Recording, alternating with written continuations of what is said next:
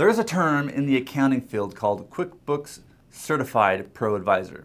Do you need one in your business? We're going to look at that right now.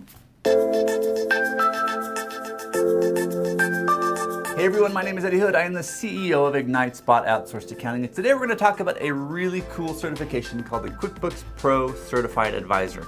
Now, if you have a bookkeeper, I highly recommend that you put them through this uh, course, this exam, whatever you want to call it.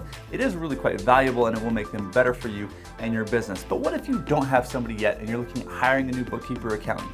Should this person have the certification? Well, obviously, if you're in QuickBooks, yes, but we're going to talk about what it means and also what it doesn't mean. First of all, let's talk about what it is. The QuickBooks Certified Pro Advisor is a certification that's given out by Intuit, the makers of QuickBooks. Now, as you know, QuickBooks is probably one of the most popular accounting softwares out there for small and medium-sized businesses and even more enterprise-style businesses now. Uh, it is not hard to pass though. It is a, a, day or two of taking courses online and then you, you, you, take a certification and as long as you pass, you get that, uh, that title. So know this, just because somebody has the certification does not mean they're going to be a great bookkeeper or accountant. It just means that they've done well with the classes online and they've passed the test. So what you want to look for when you're hiring an accountant or bookkeeper, or if you've got somebody on staff, obviously, you need them to have, I always make sure that people have at least three to five years of experience with QuickBooks and this certification before I consider working with them. It's not just enough to have been certified. You need experience to go along with the title. Another cool feature when somebody does get certified as an advisor is that they are listed on the directory for Intuit. So you can go to proadvisor.intuit.com. I believe that's the website. We'll have to check that.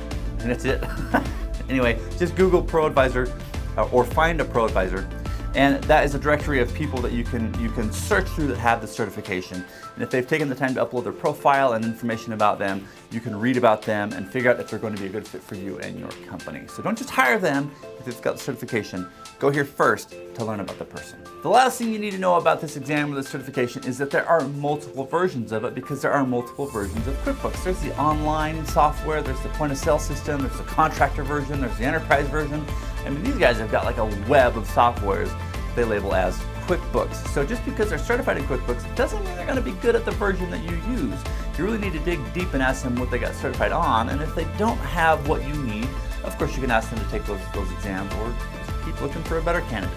That's it guys, I hope this helped you as you're looking through uh, potentially hiring a new bookkeeper or accountant. Again, make sure that they have the certification if you are on QuickBooks.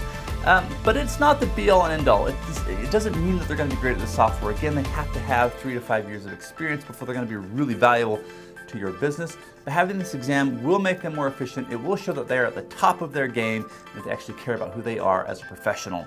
So it's a great certification to have. Until next time, guys, thanks for watching. Have fun growing your businesses and stay profitable.